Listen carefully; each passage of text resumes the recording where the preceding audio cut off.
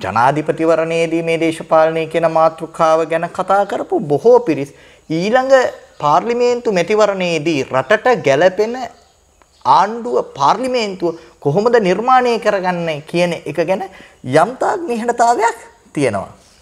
ධනුෂ් මේ නිහඬතාවය කවුරුන් නැතත් තරුණයන් විසින් බිඳිය යුතුම. එතනම තමයි අපිට වරද්දපු තැන ධනුෂ්. එතනම තමයි අපිට වරද්දපු තැන. ඒ කියන්නේ තරුණයන්ට ඒත්තු ගන්නලා තියෙනවා. දේශපාලනය කියලා කියන්නේ කතා නොකළ යුතු මාතෘකාවක් කියලා. ඒක ඒ තරමට දූෂණයට ලක් වෙච්ච මාතෘකාවක් කියලා. ඒ කාරණේ ගැන එලිපිට බහැලා තරුණේ කතා කිරීම පවා ඔහුට දේශපාලනයේ වහලෙක් කියලා ගහන්න හේතුවක් බවට පත් වෙලා තියෙනවා. නායකයෝ කියන අය හදන්න බෑ. නායකයෝ කියන අය හැදෙනවා. නායකයෝ කියන අය මතු කරන්න බෑ. නායකයෝ කියන අය මතු වෙනවා. හෙට දවසේ මේ මහ පොළවෙන් මේ ඉඩකඩ නිර්මාණය කරලා දෙන්න මේ රටේ තාරුණ්‍ය ලැහැස්ති නම් ඒ නායකයෝ ඉබේටම මතුවේ. හැබැයි දනුෂ් අද වෙනකොට මම විශේෂයෙන් මතක් කරන්නේ මේ රටේ ඔබ වගේ ස්වේච්ඡාවෙන් මේ වැඩේට කැප වෙන තරුණයෝ ඉස්සරහට ඇවිල්ලා ට්‍රෙන්ඩින් පැත්තකින් තියලා ලයික්ස් පැත්තකින් තියලා අද තරුණයෝ වෙනුවෙන් පෙනී ඉන්න පටන් අරගෙන තියෙනවා. දේශපාලන මතය මොකක් වුණත් ඒ පෙනී සිටීමම තමයි අපිට තියෙන හයිය. මේ අවුරුදු ගාන පුරාවටම අපේ රටේ දේශපාලනය කියන්නේ එම විශ්‍රාම යන වයසක් තියෙන එකක් නෙමෙයි. මැරෙනකම් කරන්න පුළුවන් ලාභදායි රස්සාවක්. ඒක නිසා දැන් මේක බලන් ඉඳිය ඇති පුතේ කුහක නොවි ආත් ඉරිසියාව නොවි අපි තරුණ පරම්පරාවකට ඊට හතර දෙන්න. කවුද ධනුෂ් මේ කියන්නේ? මේ රටේ තාරුණ්‍යයට ආශිර්වාද කරන වැඩිහිටියෝ. අයිවන් ධනුෂ් ලොක්ස් බලන හැමෝටම පුංචි අලුත් පණිවිඩයක් රට හමුවේ තබන්නට විශේෂ වීඩියෝ එකක් කරන්නට හිතුණා. මම අයිවන් කියලා පිළිගන්න ඔබතුමාව. මං අඳුන්වා දෙන්නම් ශ්‍රී ලංකා යෝන් පාර්ලිමේන්තුවේ හිටපු අගමැති එතකම අයි සිටිසන් සංකල්පයේ නිර්මාතෘ නීතිඥ සිහන් ධම්මික ජයසිංහ මහත්තයා තමයි අද අපිත් එක්ක ජයසිංහ මහත්මයා තමයි අද අපිත් එක්ක සාකච්ඡාවට එකතු වෙන්නේ. මොකද මේ මේ සාකච්ඡාවට පළවෙනි හේතුව අපි දැක්කා පළවෙනි මෙහෙයුම සාර්ථකයි පළවෙනි මෙහෙයුම සාර්ථකව නිමා වුණා. කියද්දිත් පුංචි සිනාවක් නැගෙනවා එතුමයි මුහුණේ. ඉතින් මේ දෙවෙනි මෙහෙයුම එහෙම නැත්නම් දෙවෙනි සටන මේ වෙද්දී ආරම්භ වෙලා තියෙනවා. මොකද්ද මේ දෙවෙනි සටන මොකද්ද මේ දෙවෙනි ක්‍රියා ක්‍රියාදාමය? ධනුෂ් පළවෙනි ක්‍රියාන්විතය ගැන ඔබ මතක් කරපු හින්දා පළවෙනි ක්‍රියාන්විතය බවට පත් උනේ රටට ගැළපෙන රටේ හෙට දවස තීරණය කරන්න පුළුවන් අනාගතයට වග කියන සුරක්ෂිත මව්බිමක් නිර්මාණය කිරීමේ හැකියාවක් වැඩපිළිවෙලක් සහිත නායකයෙක් මාතෘභූමිය වෙනුවෙන් තෝරාපත් කර ගැනීම. දේශප්‍රේමී ජනතාව ඉස්සරහට ඇවිල්ලා ඒ යුතුයකම ඉෂ්ට කරා. දෙවෙනි අභියෝගය ඒ වැඩපිළිවෙලට සහ ඒ අනාගත ලංකාවට ගැලපෙන පාර්ලිමේන්තුව නිර්මාණය කරගන්න එක.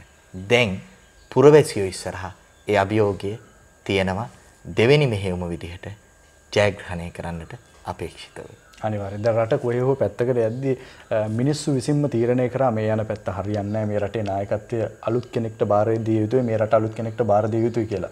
අපි දැක්කා නව ජනාධිපතිතුමා හත්වන විධායක ජනාධිපතිතුමා විදිහට ගොඩාබේ රාජපක්ෂ මහතා පත් වුණාට පස්සේ පාරක් පාරක් ගන්න අපේ කට්ටිය කිරිබත් හැදුවා සතුට සැමරුවා. දැන් මේ සතුට හරියට භුක්ති විඳින්න ඕනි. අනාගත පරපුරට මේ රට දායාද කරන්න ඕනි. එහෙමනම් එතනින් එහාට වෙන්න ඕනි වැඩපිළිවෙල. අපි දන්නවා ඊළඟට ළඟ මහමැතිවරණයක් එනවා.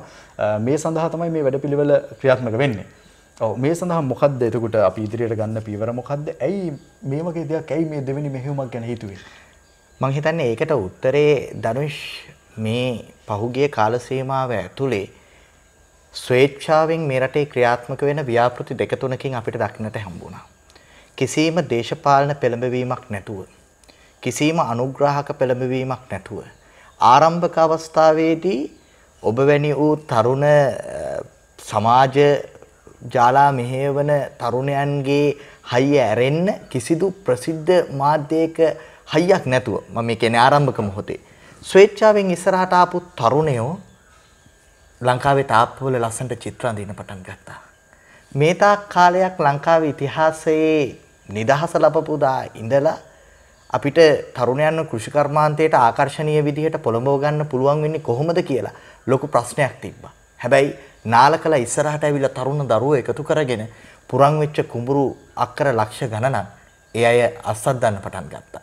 මේ හරහා රටට දීපු පණිවිඩයක් තියෙනවා ඒ තමයි අපිට රටක් විදියට නැගිටින්න පුළුවන් අපි අපේ කා- ක්‍රියාවලිය කාර්ය අපේ අපි අපේ වගකීම අපි අපේ යුතුයකම මව්බිම වෙනුවෙන් ඉෂ්ට කළොත් කියලා.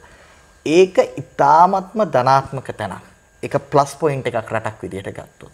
දැන් මෙන්න මේ ප්ලස් පොයින්ට් එක අපි මේ කියන ධනාත්මක හැරවුම් ලක්ෂය ඊ타ත්ම තීරණාත්මක විදිහට දේශපාලනය ඇතුලේ භාවිතා කර ගැනීමේ අභියෝගය අපට තියෙනවා. ජනාධිපතිතුමා පත් වුණාට පස්සේ ගත වෙච්ච කාල සීමාව තුළ ගනු ලැබූ තීරණ සමහර එතුමන් විසින් අනුගමනය කරු ඍජු ප්‍රතිපත්ති ඒ ආකාරයෙන්ම සාක්ෂාත් කරන්නට හැකියාවක් තියෙන. එහෙම දර්ශනයක් සහිත පාර්ලිමේන්තුවක් හදා ගැනීමේ අවශ්‍යතාවය තියෙනවා. ඒ වෙනුවෙන් මම හිතන්නේ අපේ රටේ පුරවැසියන්ට ලොකු වගකීමක් තියෙනවා. වචනයාව එතනින් පාර්ලිමේන්තුවක් හැදිය යුතුයි. මම අහන්න කැමති හරස් ප්‍රශ්නයක් විතර මේ ඇයි අලුත් පාර්ලිමේන්තුවක් අවශ්‍ය වෙන්නේ මේ දැන් තියෙන පාර්ලිමේන්තුව අපි දැක්ක මීට කලින් කට්ටිය කිව්වා 225ම එපා. සමහරු පාර්ලිමේන්තුවට බෝම්බ ගහනවා නම් සතුටුයි කියලා මම මේ කියන්නේ සමාජ මාධ්‍ය ජාල හුවමාරු වෙච්ච තරුණයන් අතර හුවමාරු වෙච්ච වචන. ඉතින් මේ ඔය වගේ මතයක් සමාජයෙන් ගොඩ නැගෙනවා. ඇයි ඇත්තටම මේ පාර්ලිමේන්තුව වෙනස් වෙ යුත්තේ? ඔබතුමා හිතන විදිහට.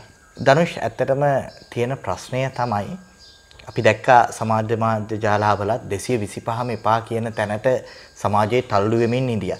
හැබැයි ඒකෙන් අර්ථකථනය වෙන්නේ නැහැ මහ පොළොවේ යථාර්ථය විදිහට මේ ඉන්න සියලුම දේශපාලඥයෝ නරකයි හෝ වැඩක් නැහැ හෝ කියන කාරණේ. හේතුව මේ ඉන්න දේශපාලනයේ ඇතුළෙත් මේ ඉන්න පැරණි දේශපාලඥයෝ ඇතුළෙත් තාමත්ම නිර්මාණශීලී රට ගැන වැඩක් කරන්න පුළුවන් සහ රට ගැන ඉතාමත්ම සාධනීය විදිහට කල්පනා කරන කැපකිරීම කරන ජනතා නියෝජිතයෝ බොහොමයක් ඉන්නවා. හැබැයි ප්‍රශ්නේ තියෙන්නේ අපි නිදහසෙන් පස්සේ පසුගිය අවුරුදු 72 ඇතුලේ අපේ රටට පෙන්නමින් තියෙන දේශපාලන පූර්වාදර්ශය එච්චර ලස්සන එකක් නෙමෙයි පාර්ලිමේන්තුවේ ඇතුලේ. ඒ නිසා තමයි එක වෙලාවක මේක දරාගෙන ඉඳලා ඉඳලා ඉඳලා ජනතාව පුපුරලා යන්නේ 225ම එපා කියලා. එතකොට අලුත් පාර්ලිමේන්තුවක් කියන එකේ අදහස බවට පත් වෙන්නේ ජනතා අපේක්ෂාවන් හරියටම නියෝජනය කරන අලුත් විදියට රට ගැන හිතන්න පුළුවන්. ඒ වගේම උගත්කමක් වගේම යම් වෘත්තිකභාවයක් තියෙන පිරිසක් මෙතනට තෝරාපත් වෙන්න ඕන කියන එක. ඉතින්දී ඇත්තටම වැදගත්ම කාරණේ බවට පත් වෙන්නේ ධනුෂ් අපි පහුගිය ජනාධිපතිවරණයේදී ඊ타මත්ම සාධනීය ලක්ෂණයක්, ඊ타මත්ම යහපත් ලක්ෂණයක් මේ රටේ දේශපාලන සංස්කෘතිය තුළ දැක්කා. ඒ ලක්ෂණය තමයි මෙච්චර කාලයක් එළියේ දේශපාලනයේ කතා නොකරපු ස්වාධීන මිනිස්සු ඉස්සරහට ඇවිල්ලා දේශපාලනය කියන මාතෘකාව අතපත ගන්න පටන් ගත්තා. ඒ අය මොන පක්ෂයේ වුණත් මොන ධාරාවේ වුණත් Taman නියෝජනය කරන දේශපාලන මතවාදය වෙනුවෙන් පෙනී සිටියා. ඒක ඊ타ත්ම සාධනීය තත්වයක්. එතනත් ධනුෂ් ඔබ හරියටම නිරීක්ෂණය කරා නම් ඒ කණ්ඩායම ඇතුළෙත් ඉස්සරහින් ඉඳී තරුණයෝ.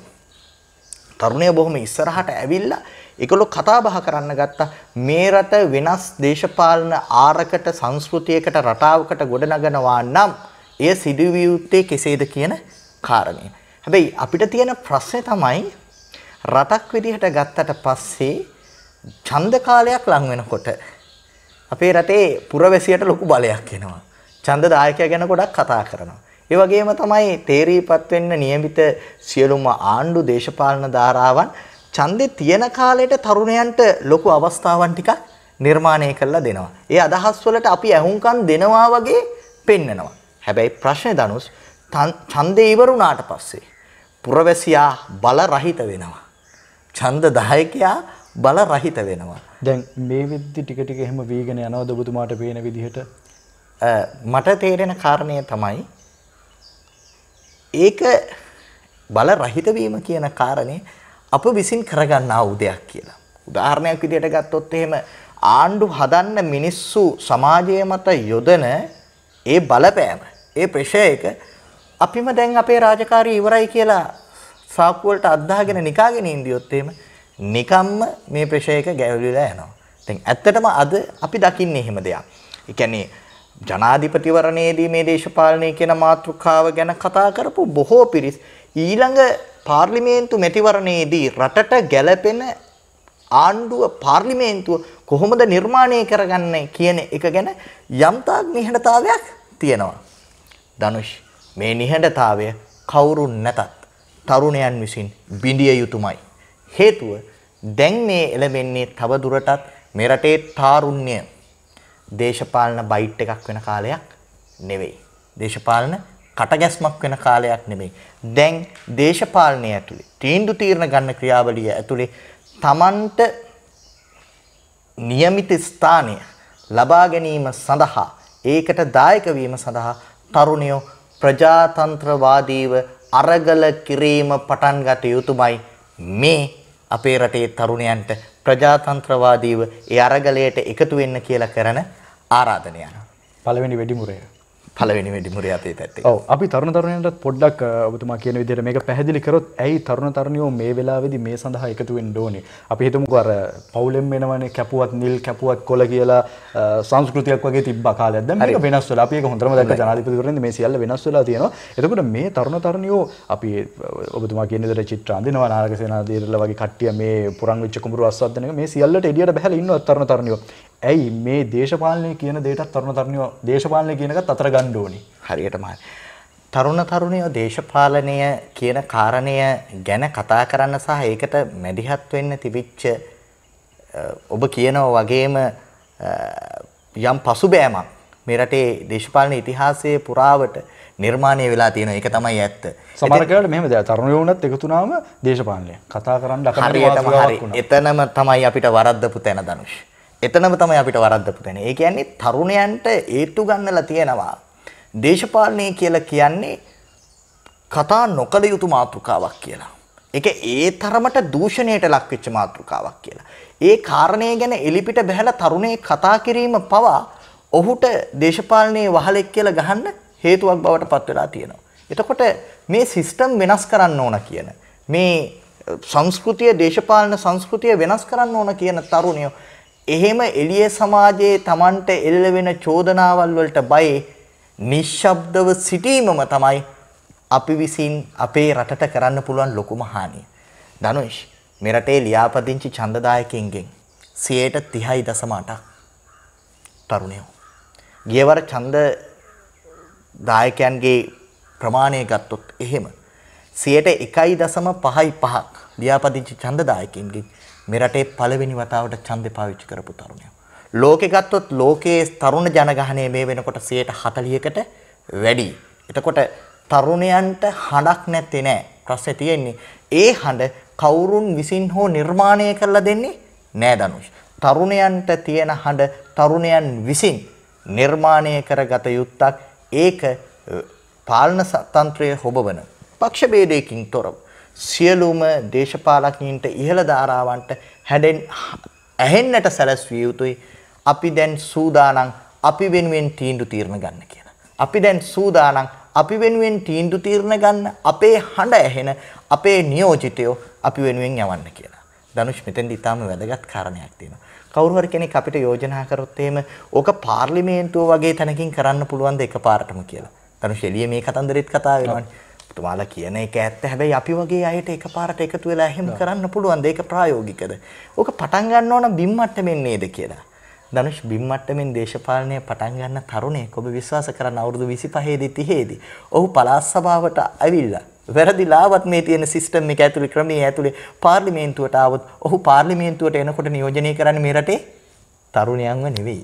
ඒ වෙනකොට ඔහු වැඩි හිටියේ. ඉතින් ඒක නිසා අපිට මේ වැඩේ පටන් ගන්න හොඳම තැන දැන් නිර්මාණය වෙලා තියෙනවා. මේක මොමන්ටම් එකක් මේක හැරවුම් ලක්ෂයක්. මේක හරියට පාවිච්චි කරන්න ඕන හේතුව දැන් අපි අපි වෙනුවෙන් තීන්දුව తీරන ගන්න පුළුවන් දක්ෂතා තියෙන මිනිස්සුන් යවන්න ඕන. 30.8ක හයියක් සේකක් අපිට තියෙනවා මේ කණ්ඩායම එකතු වුණොත් මේ වැඩේ අපිට කරන්න පුළුවන් ස්ථිරයි. අනිවාර්යයෙන්ම දැන් ගොඩක් කට්ටිය අපි දකලා තියෙනවා දැන් වයස ඇති අර නිකන් විශ්‍රාම යනවා වගේ. දැන් අලුත් પરම්පරාවට එහෙම නැත්නම් මේ තරුණ પરම්පරාවට මේ නායකත්වයේ බාර දෙන්න ඕනි අලුතෙන් හිතන්න ඕනි. මොකද අලුත් සංකල්පෙන්න ඕනි රට සංවර්ධනය වෙන්න ඕනි. අපි නැත්නම් තාමත් සංවර්ධනය වෙමින් පවතින රටක් තමයි. ඕක තමයි අපි දකිනවා සමහරක් වෙලාවට අපේ කමෙන්ට්ස් වලට පවා දාලා තියෙනවා. හොඳ දෙයක් කරන්න හොඳ දේවල් දාන්න. ඉතින් හොඳ දේවල් අපි අරගෙන අවිල්ලා තියෙනවා. දැන් කට්ටියට ප්‍රශ්න කෙන්න පුළුවන් මේ පුතුමා මේ විදිහට කියන විදිහට දැන් කොතනින්ද මේ වැඩේ පටන් ගන්නෙ? බලන කට්ටිය අහන්න පුළුවන් මේක බලන තරුණ තරුණියෝ අපි මේ වැඩේට කොහෙන්ද එකතු වෙන්න ඕනි? මේ වගකීම කොහොමද අපි ගන්න ඕනි වගේ ප්‍රශ්න ටිකක් එනවා. අපි ඒ ගැන සඳහනක් කරොත් එහෙම. ධනුෂ් මේ වෙලාවෙත් රටේ හැම තැනම සමහර වෙලාවට සංවිධාන මට්ටමින් සමහර වෙලාවට ස්වේච්ඡාවෙන් තරුණය මේ මාතෘකාව ගැන කතා කරමින් ඉන්නවා. ඔබ කියනවා වගේම ඒ අයට ගොනු වෙන්න තැනක් නැති අවුල ඒ හිඩස සමාජයේ නිර්මාණය වෙලා තියෙනවා.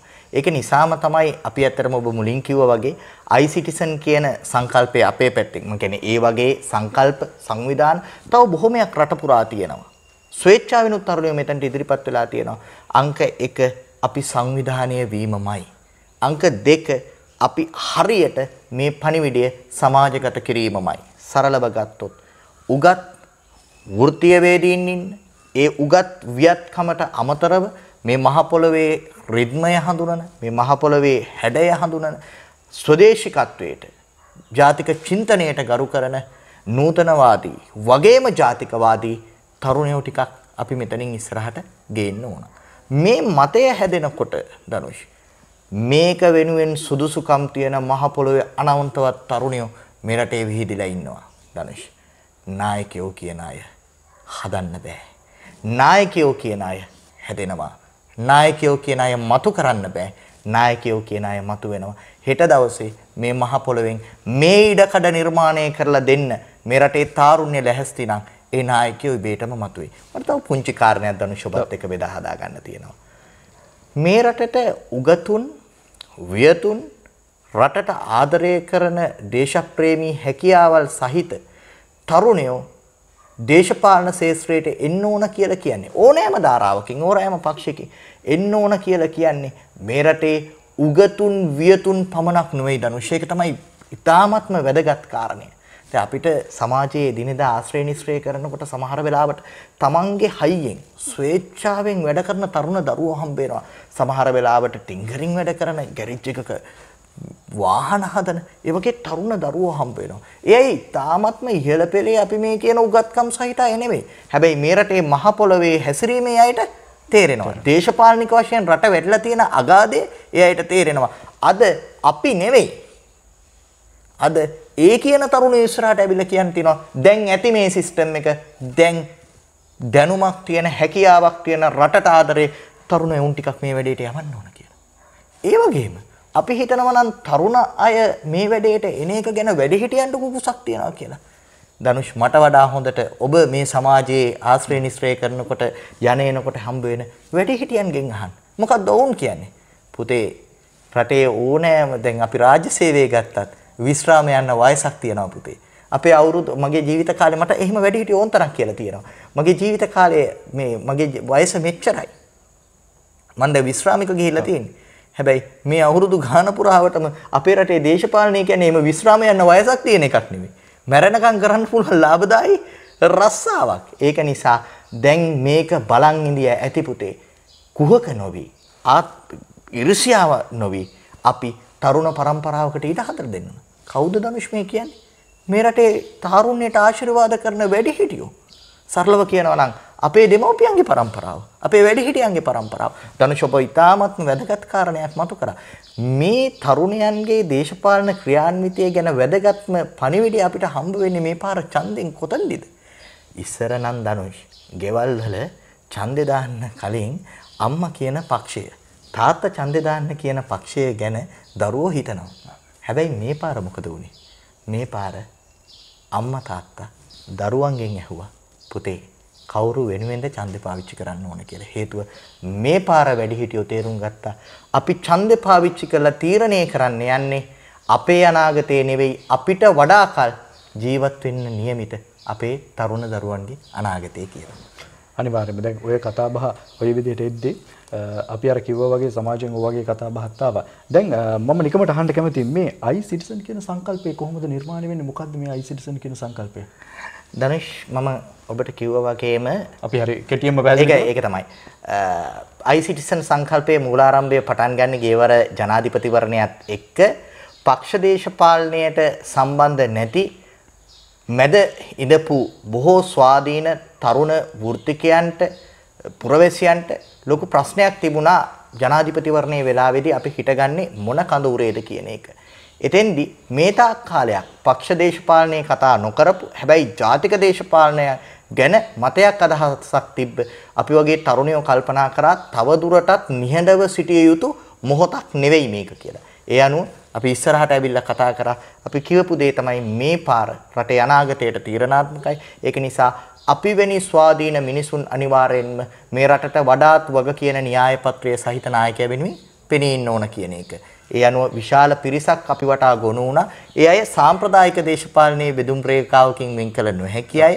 ඒකත් එක්ක තමයි අපි අර ඔබ කිව්ව පළවෙනි ක්‍රියාන්විතය පළවෙනි මෙහෙයුම පටන් ගත්තේ දැන් ඊට වඩා ඊ타ත්ම ශක්තිමත්ව රටේ හැමතැනම තරුණයෝ වෘත්තිකයෝ උගතුන් වගේම මේ රටට ආදරය කරන මිනිස්සු බොහෝ ප්‍රමාණයක් උගත් ඒ වගේම වියත් ඒ වගේම දේශප්‍රේමී තරුණ පාර්ලිමේන්තුවක් හදන්න තරුණයන්ට මේ අවස්ථාව දිය යුතුයි කියන තැන ඉඳලා අපිත් එක්ක හිටගෙන ඉන්නවා. ඒක තමයි iCitizen ව්‍යාපෘතියේ දෙවෙනි මෙහෙයුම. මම හිතන්නේ මේකට කාටවත් වචනයක් කියන්න දෙන්න හැමෝම ඉල්ලලා තිබ්බ වෙනස තමයි මේ වෙනස් වෙමින් පවතින්නේ. ඒ දේවල් තමයි මේ සමාජයෙන් හැදෙමින් පවතින්නේ. මෙතන මේ දේශපාලන පක්ෂයක් නැහැ. ඒ කියන්නේ අපි කාටවත් දේශපාලන පක්ෂයට කඩේයාමක්වත් කිසිම දේශපාලඥයට කඩේයාමක්වත් නෙවෙයි මෙතන සිද්ධ වෙන්නේ. මේ රටේ ජාතියේ අනාගතයේ අවශ්‍යතාවය වෙනුවෙන් තමයි මේ වචන ටික මේ වීඩියෝ එක ඔබ වෙතට අරගෙන එන්නේ. ඔබ තරුණයෙක් මේ වීඩියෝ එක බලන ඔබ ඉදිරියේදී කළ යුත්තේ කුමක්ද මේ දෙවෙනි මෙහෙයුමට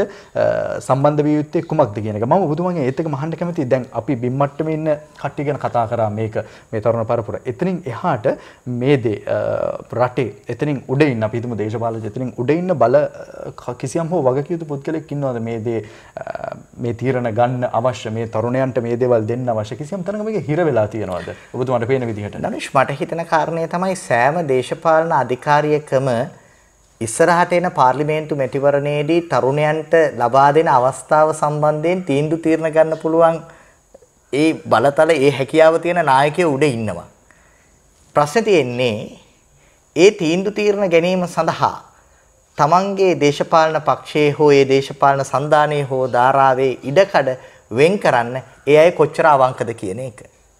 ඒ අවංකවම ඒ දේ සඳහා ඉඩකඩ වෙන් කරන්න කැමති නායකයන්ට ඒ කාරණය සිද්ධ කරන්න පුළුවන් වෙන්නේ යට තලයේ බිම් තලයේ ග්‍රාස් රූට් ලෙවල් එකේ ඔබ කියන තරුණයෝ ඒ හඬ උඩට අරගෙන දුන්නොත් විතරයි. මම දන්නවා පුද්ගලිකව මේ රටේ සෑම දේශපාලන ව්‍යාපාරයකම ඉතාමත්ම දයාර්ථව ඊළඟ පරම්පරාවකට අපි මේ අවස්ථාව මේ ඉඩකඩ නිර්මාණය කර දිය යුතුයි කියලා හිතන දේශපාලන නායකයෝ ඉන්නවා. ඒ අයගේ වැඩපිළිවෙළවල ඒ අය නිශ්චිත මේ කාරණා සඳහන් කරලා තියෙනවා. අපි විශ්වාස කරන්නේ මේ රටේ ඊළඟ පරම්පරාවේ තරුණයෝ ගැන කියලා. හැබැයි ඒ අයට තමන් විශ්වාස කරන කාරණය දේශ පවතින දේශපාලන ක්‍රමය තුල ඇත්තක් බවට පත් කරගන්න නම් අනිවාර්යයෙන්ම අපි මේ සමාජ මතය වෙනුවෙන් පෙනී ඉඳලා මේ හඬ ඒගොල්ලන්ට ඇහෙන තැනට ගෙනිහින් දෙන්න ඕන. මං විශේෂයෙන්ම මේ වෙලාවේ යම් කාරණයක් කියන්න ඕන. ඒ හඬ ඉස්සර නම් හදලා දුන්නේ බොහෝ වෙලාවට අපි දකින ප්‍රසිද්ධ මාධ්‍යවල තියෙන අවස්ථා සම්බන්ධතා ඉඩකඩත් එක්ක. හැබැයි දනුෂ් අද වෙනකොට මම විශේෂයෙන් මතක් කරන්නේ මේ රටේ ඔබ වගේ ස්වේච්ඡාවෙන් මේ වැඩේට කැප වෙන තරුණයෝ ඉස්සරහට ඇවිල්ලා ට්‍රෙන්ඩින් පැත්තකින් තියලා ලයික්ස් පැත්තකින් තියලා අද තරුණයෝ වෙනුවෙන් පෙනී ඉන්න පටන් අරගෙන තියෙනවා. දේශපාලන මතය මොකක් වුණත් ඒ පෙනී සිටීමම තමයි අපිට තියෙන හයිය. මම කියන්නේ මේ අරගලය සෑම සියලු දේශපාලන පක්ෂ නියෝජනය කරන සියලු තරුණ කණ්ඩායම් විසින් සිදු කළ යුතුයි තමන්ගේ හඬ තමන් නියෝජනය කරන දේශපාලන පක්ෂයේ ඒ ධාරාවේ ප්‍රධාන හඬක් බවට පත් කර ගැනීම සඳහා. ඒ කියන්නේ ඕනෙම ආයතනයක හෝ වේවා ඕනෙම තැනක හෝ වේවා යටපෙලක් ඉන්න ඕනේ. මේ යටපෙල ශක්තිමත් නම් තමයි පොඩි ඊළඟ ඉදිරි පෙළත් ක්‍රියාත්මක වෙන්නේ සහ අඩුපාඩුකම් තියෙනවා නම් ඒවා පෙන්වා දෙන්න පුළුවන්. එතන පොඩි තරංගයක් හරි දෙයක් ඇති වෙන්නේ. යටපෙලක් ඇත්තෙම නැත්තම් ඉතින් අනාගතය ගැන සුබවාදී දෙයක් වෙන්න විදිහක් නැහැ. අනාගතේ හරිම අනතුරේ වගේ දෙයක් තමයි. ඒත් එක මම කැමති සමහරක් වෙන මේ වීඩියෝ පටිය දේශපාලඥයෙක් හෝ වේවා කිසියම් බලධාරියෙක් දකි සමහරක් විට. අපි දන්නේ කිසියම් හෝ විදිහකට මේ රටේ වර්තමාන ජනාධිපතිතුමත් මේ සමාජ මාධ්‍ය ජාල හොඳට පරිහරණය කරන නිසා සමහරකට එතුමා වුණත් දකින්න ඉඩකඩ තිබෙනවා. මම ඔබතුමාගෙන් අහන්න කැමති හදිසි හරි එතුමා දැක්කොත් එතුමාට දෙන්න තියෙන පණිවිඩය කුමක්ද මේ දෙවෙනි මෙහෙයුම සම්බන්ධයෙන්? මම හිතන්නේ එතුමා ඉතාමත්ම පැහැදිලිව මේ පණිවිඩය දැනගෙන ඉන්න කෙනෙක් අවබෝධ කරගෙන ඉන්න කෙනෙක්. එතුමාගේ ප්‍රතිපත්ති ප්‍රකාශනයේත් එතනින් එහාට එතුමා වැඩ කරන විදිය දිහා දැක්කට පස්සේ එතුමාගේ අනාගත දැක්ම සම්බන්ධයෙන් අපිට ඉතාමත්ම සාධනීය ලකුණු පහළ වෙලා තියෙනවා. මම හිතන්නේ ඒ ඉඩකඩ අනාගතයේදී මේ රටට වග කියන තරුණයන්ට නිර්මාණය කරලා දෙන්න කැප වෙන තැන්දි එතුමා බොහොම ඉස්සරහින් ඉඳන් වැඩ කළයි කියලා අපි විශ්වාස කරනවා. ඒක තමයි මේ රටේ වැඩි ඡන්ද ලක්ෂ 13ක් පක්ෂ විපක්ෂ ભેදයකින් තොරව එතුමාගේ ගොඩට ගේන්න කැපවෙච්ච තරුණයන්ගේ හඬ උවමනාව.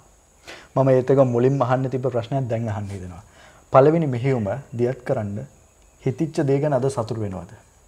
පළවෙනි මෙහෙයුම සාර්ථක වීම ගැන ඒ සතුට අද කොහොමද භුක්ති විඳින්නේ? අවංකවම සතුටුයි. අවංකවම සතුටුයි. පළවෙනි මෙහෙවර පළවෙනි මෙහෙයුම ඉවර වෙලා අද දක්වා මේ රටේ කටයුතු කරුණු කාරණා සිද්ධ වෙන දිහා දැක්කට පස්සේ පුදුමාකාර සතුටක් තරුණයෙක් විදියට අපිට තියෙනවා.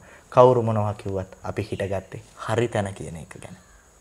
ඒතක මම අහන්න කැමතියි දැන් ශ්‍රී ලංකා යෝන් පාර්ලිමේන්තුවේ හිටපු ප්‍රථම අගමැතිතුමා විදිහට වර්තමාන ජනාධිපතිතුමාට මේ යන වැඩපිළිවෙලේ මේ තරුණයන් සම්බන්ධ කරන් යන වැඩපිළිවෙලේ තව වෙනස්කම් සිද්ධ වෙන්න ඕනේද? එහෙම නැත්නම් ඔබතුමාගේ යෝජනා තියනවද මෙන්න මේ දේවල් වුණොත් හොඳයි. අපි හිතමු මේ සියලුම තරුණයෝ නියෝජ කරන සමාජ මාධ්‍ය ජාලා හෝ වේවා මේ දැන් තාප්පි චිත්‍ර අඳින තැන ඉඳන් පවා වේවා. ඔබතුමාට හිතන විදිහට තව තියනවද යෝජනාවල් මෙහෙම මෙහෙම වුණොත් හොඳයි කියලා? මට පළවෙනිම කියන්න තියෙන කාරණේ තමයි ධනුෂ් තරුණයන්ගේ මේ ඇති වෙලා තියෙන උද්‍යෝගය පළවෙනියෙන්ම අපි හඳුන ගන්න ඕන. ඒ උද්‍යෝගයේ වැටෙන්න දෙන්නේ නැතුව ඒක ආරක්ෂා කරගන්න එක අපිට තියෙන වගකීමක්. දෙවෙනි කාරණය තමයි තරුණයන් තුල රට ගැන ඇති වෙලා තියෙන මේ ආකල්පය ඒ ඒ අයගේ ශේෂ්ත්‍රවල නිවැරදි ආකාරයෙන් යොදවන්න අවශ්‍ය කරන ඉඩකඩ අපි හදලා දෙන්න ඕන. ඒක පරිපාලන ශේෂ්ත්‍රය හදලා දෙන්න ඕන. ඒක මාධ්‍ය ශේෂ්ත්‍රය හදලා දෙන්න ඕන. ඒක අධ්‍යාපන ශේෂ්ත්‍රය හදලා දෙන්න ඕන. ඒ වගේම මේක දේශපාලන ශේෂ්ත්‍රය හදලා දෙන්න ඕන. නිර්මාණශීලී තරුණයන්ට තම තමන්ගේ ශේෂ්ත්‍රවල අලුත් දේවල් රට වෙනුවෙන් කරන්න අවශ්‍ය කරන ඉඩකඩ හදලා දුන්නොත් එතුමා විශ්වාස කරන රට බොහොම ඉක්මනට අපිට හදාගන්න පුළුවන් වෙයි. ලස්සන ලංකාව. ලංකාවේ ලස්සන බලන්න පුළුවන්. අන්තිම වශයෙන් අපේ තාරුණ්‍යයට යෞවනය නියෝජනය කරන අයට දෙන්න තියෙන පණිවිඩය කුමක්ද? අපි පොඩි නෑ. අපි එකතු වුණොත්, අපි සංවිධානය වුණොත්, අපි වෙනුවෙන් තීන්දුව తీරන ගන්න රටට වඩා යහපත් නායකයෝ හෙට දවසේ අපිට ආඩම්බර වෙන්න පුළුවන් දේශපාලන සංස්කෘතියක් රටේ ගොඩනගන නායකයෝ අපිට අපි අතරින් ඉස්සරහට ගේන්න පුළුවන්. අපි පොඩි නෑ. මම හිතන්නේ මේ බලන වීඩියෝ එක බලන තරුණ ඔබ ඔබට දැනෙනවා නම් මේ කිව්ව කතාව මොකද්ද මේ කිව්ව කතාවේ තියෙන බරපතලකම මේ දේ අපි නොකරොත් අපි අද වැටෙන තැන. ප්‍රශ්න ගොඩක් තියෙනවා. බලන්න ඔබට හිතන දේ කමෙන්ට් කරන්න පුළුවන්. ඒ ප්‍රශ්න අපි නැවතත් මෙතුමා ගාවට අරගෙන එන්නම්. අපි සාකච්ඡා කරන්න මේ ආරම්භය පමණයි. කිසියම් වැඩසටහනක මේ වැඩසටහනේ ආරම්භය පමණයි. ඉතින් මෙතනින් ඉස්සරහටත් මේ සියලු තොරතුරු ඔබ වෙත අරගෙන එනවා. මේ වගේ සාකච්ඡා අරගෙන එනවා. අපි මෙවෙන්ම ස්තුතිවන්ත වෙනවා. ඔව් ස්තුතියි. ඔබතුමාට මේ කරුණු කාරණා ටික කියන්න අපිත් එක්ක එකතු වුණාට මෙහෙම ස්තුතියි. ඔබ දිගටම රැඳී සිටින්න මෙහි ඉදිරි වැඩ කටයුතු සහ මේ සම්බන්ධ සියලු තොරතුරු අපි එකින් එකට ඔබ වෙත රැගෙන එනවා